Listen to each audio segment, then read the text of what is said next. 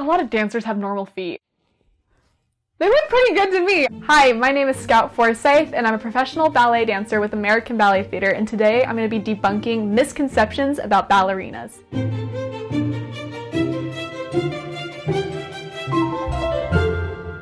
When people find out I'm a professional ballet dancer, they always have some weird stuff to say. So I'm going to be answering some of the most common assumptions and misconceptions about ballerinas today. I threw it out there on Instagram for people to write in what they thought. I got over 185 responses. So I broke them down into categories. Diet, lifestyle, body, personality, career, pointe shoes, and dance. This is definitely the biggest section and the most common question I get. All ballerinas are teeny tiny skinny people who don't eat. They never eat anything. Like ballet dancers eat nothing slash starve themselves eating disorders, body dysmorphia. You're working out from 10 to 7 with an hour break and you're eating a lot of food because you need fuel for that, but you're working your body so hard that naturally you just become lean. Yes, there is a skinny culture in ballet. There is a stigma and reward system for being and looking a certain way. I think that needs to change. I personally would rather see a woman out there dancing than somebody who looks like they're about to lose their last breath on stage. Eating disorders, body dysmorphia, I think it's something that dancers struggle with. I can say I've struggled with looking at myself in the mirror and just being like, ew, I don't like that. But our generation is becoming so much more knowledgeable about health. We're understanding that, you know, the starving yourself and then trying to get a full performance out, like that's just not possible for a human to do that. Okay, so these are the more like realistic assumptions, I would say. Dancers take good care of themselves and live a healthy lifestyle. They're all super healthy eaters and vegans and perfectionists.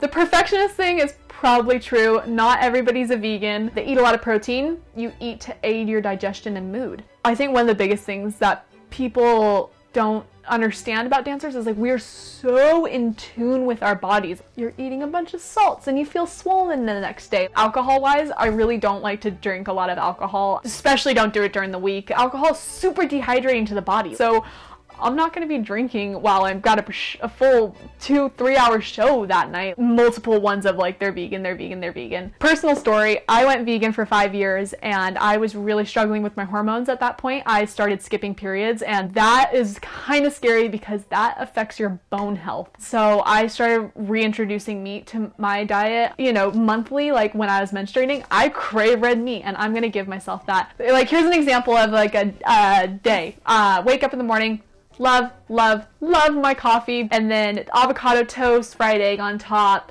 Um, and then I always have like a banana or apple or something to snack on. I'm sipping coconut water throughout the whole day. Lunch is usually a, some kind of salad or soup. And then going home to a dinner of like roasted veggies and like a big kale salad. And then maybe occasionally like a piece of steak or salmon or just some tofu. Like, I'm down kind of for whatever. Yeah, just trying to eat clean. And then there's definitely like potato chips somewhere thrown in there and like maybe a piece of chocolate or like a pint of ice cream. So here are some I got a lot. Their entire life is ballet and no private life is possible, no social life. I assume that ballerinas don't have time for much outside of training. There's a little bit of truth in that, but a normal rehearsal chunk, which would be like usually a week to maybe six weeks, we're working Tuesday through Saturday, 10 to 7, and then, you know, multiple times out of the year, we're performing until late in the evening, but that's very seasonal. It's not all the time. So, you know, yeah, you're hustling for two months, three months out of the year, but other than that, like you're able to just finish your day and go have a dinner with friends or go get a massage or on the weekends, like run out to the beach. The next one is ballet is the most important thing in your life, like Black Swan serious, not just passion.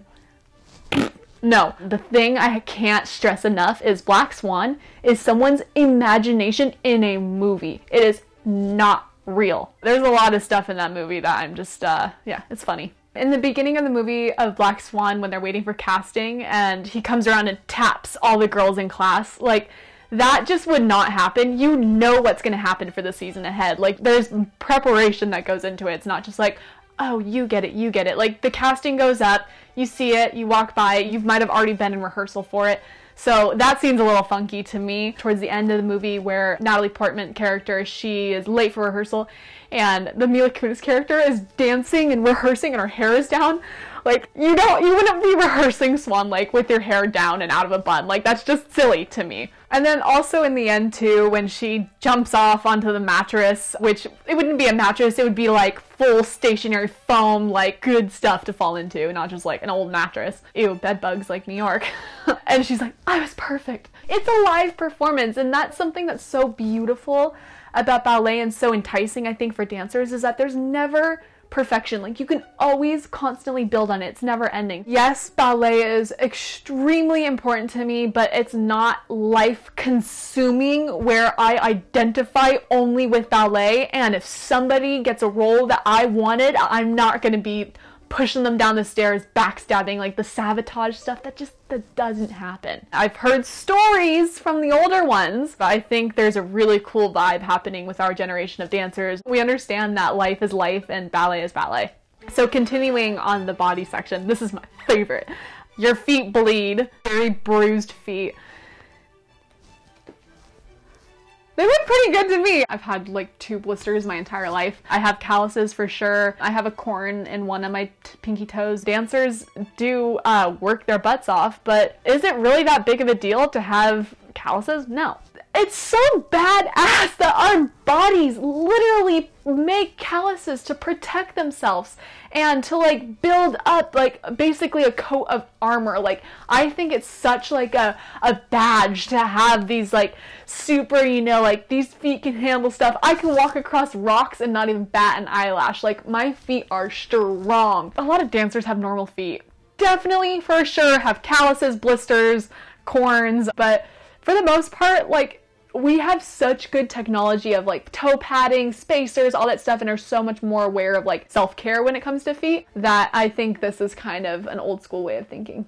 Here's another one. They have constant injuries. The dancer injury rate is 100% dancers get injured. It's a part of the job. I've been a professional now for six years and I've only had one injury that really just like took me out for a good solid like four months. One four month injury in a span of six years, like the odds are pretty good at that point. You avoid injuries by working smart, really working on that technique and getting that strength and doing things properly and having somebody help you. Just ask for help. Say, hey, I need a coach right now. I need somebody to look at this. There's a weird feeling here. And yeah, just being aware of that. Ballerinas will have long term body issues because of their work. Yeah, you see hip replacements with dancers quite often. So there is some truth in the long term issues, but ballet technique has been crafted for hundreds and hundreds of years. So there's a lot of thought process that also went into like landing from jumps. The reason we roll through the feet is one, it's aesthetically pleasing, and two, it's helpful for shock absorption on your body. We're gonna pretend this is my Marley right here, and here's my pointe shoes. I jump up and I roll through the foot coming down instead of just going clunk and that hard landing that shocks into your ankle, which goes into your knee and hips and bodies and everything. So it's like that roll down that helps with allowing the body to slowly control the weight that's coming from up above. So ballet is like any other sport out there. There is going to be long term effects that happen down the road because of just how much we're working our bodies. But I mean, it's kind of the sacrifice that you you make because you love what you do. You do not have to have long hair to be a dancer or to put it in a bun. There's ways you can make make fake buns. I knew a girl that had a full pixie cut and she was a professional ballet dancer. You just work with what you've got. Companies can't require you to have a certain type of hair. I think kind of the only requirement and ask is that you keep your hair a natural color. Okay, so now we're moving on to personality. There's a lot of competition and meanness within dancers. dancers are neurotic, obsessive, narcissistic. Ballerinas are catty, competitive, and mean. No, it's not Black Swan. Like, I can't stress that enough. People aren't putting shards of glass in other people's pointe shoes. Especially the culture at ABT. I feel like I've been so fortunate and lucky. Like, the support we have for each other, where I've, like, gone in there, had a bad day, crying in the dressing room. I've got at least six women around me being like, let's talk How are you feeling? Women are the best things ever. Like, come on, we support each other and love each other, and that's how we get stuff done, and that's how our performance happens. Ballerinas need a strong character and ego in order to handle the job. There is some truth in that. You have to be a strong person. You're gonna take some criticism. I don't know one single person out there that hasn't had a no said to them. You're never gonna do this, you're not good enough. And you can either take that and allow it to cripple you, or you can be like, I'm gonna show you. You do not determine my fate, I do. Moving on to career, uh, this is something I think everybody gets asked a million questions about. You have to start when you're young, you need to start when you're a child and when the bones and body are still flexible. If not started young, then not accepted. You cannot become a professional ballerina if you start late at 16. I started 11. I consider that early to be starting a professional career. I have a really dear friend of mine. He was 20 years old when he waltzed into a ballet class. And he was like, oh, that looks cool. I'm going to try it for the year. He had a successful professional career. Misty Copeland didn't start until she was later in life. There's no magic number in order to become a professional. Here's uh, the other end of this question. Ballerinas retire super young. Ballerinas have to retire in their early 30s. You know, you become a professional and you've probably got 10 to 15 years, and that's about it. I would say like 30, 35 is probably the average age that people retire. What we're doing is so hard and rigid and extreme on the body that you can kind of only handle it until you're in your prime. That being said, Alessandra Ferri is in her 50s and still performing Juliet. There are anomalies out there, but it's not a shock that I'm gonna be turning around 35 and have to end my career as a dancer. I think that's why a lot of people also give it their all and this ties into the beginning question of like you have no social life you can't do anything. Like our career is short so we're to put everything my heart and soul into it because i know that it's only temporary. And so you got to enjoy it while you can. Just because you're not dancing on stage after you're retired doesn't mean your career in ballet is over. Like so many dancers go into choreography teaching uh, open up their own dance studio give back to the new generation coming up. Like if you feel like you want to stay within the ballet industry it's totally possible to do. All right, next assumption. Ballerinas automatically retire after having a baby. False. We have so many moms in the company right now. It's so awesome. A lot of dancers have their babies, take their year off usually to do everything, and then come back sometimes stronger than ever. Coaches are mean AF. Yeah, I've had mean coaches in the past. I had one teacher, she wouldn't allow us to wear toe pads in our pointe shoes. So I used to wear my toe pads in my flat shoes with the tights over it, and then I would just slip them into my pointe shoes real quick when she wasn't looking. But I think everybody's different, everybody's personality is different. I wouldn't say coaches are mean, I would say they're sometimes harsh. They're sometimes very truthful, but I don't think truth is mean. I think sometimes it's hard to hear. These are questions I get from men mostly.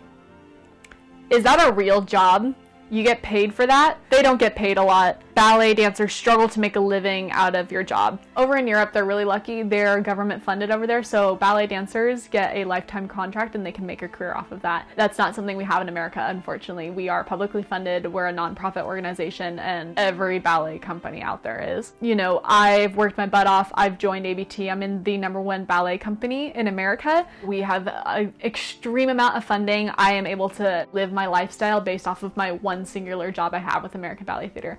That's not the case for every company. We can perform more, we go around tour, whereas like a smaller company maybe has half the amount of weeks that they work, so they have to get a second job on the side. Is it a real job? Yes, it's a real job. Like you don't ask LeBron James if that's a real job for him. Like, come on, you know?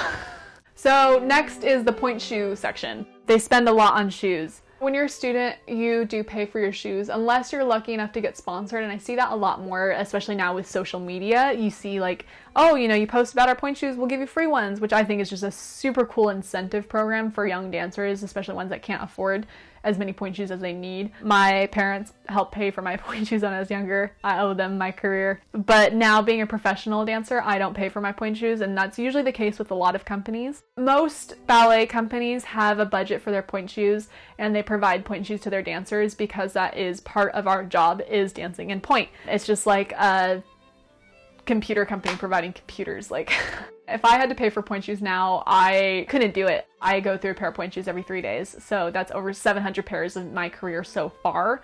About $100 a pop. Like, that's expensive. All right, next. There's wood or cement in your shoes. No! no, there's not cement in my pointe shoes. There is a thin strip of wood though, but just like so thin that it doesn't even count as wood. The Boxster pointe shoes, I've got a pair right here. It's like, it's a glue, it's a paste with layers and layers. They're sturdy and they're strong, but they're soft enough that I can land a jump and be fully in control of shock absorption. You couldn't even walk if you had cement in these shoes, or in shoes in general.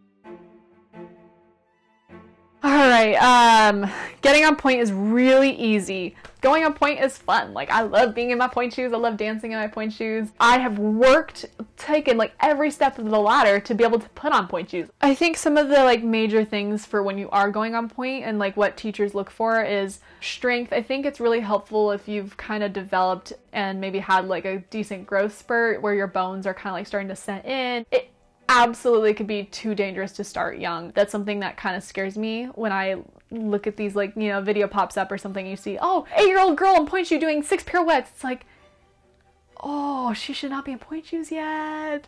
That's scary, but you know, to each their own. If you could focus on something, getting ready for your pointe shoes is like get your calves and your ankles and your legs strong, especially your calf muscles. Like those are the kind of like the workhorse of pointe. The final assumptions.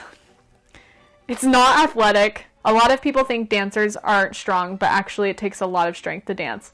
I agree with that last one so much. Misty Copeland always says the worst thing that she gets said to her is like, "Oh, you're a ballet dancer? That's cute." It is a um, admirable and respectable career.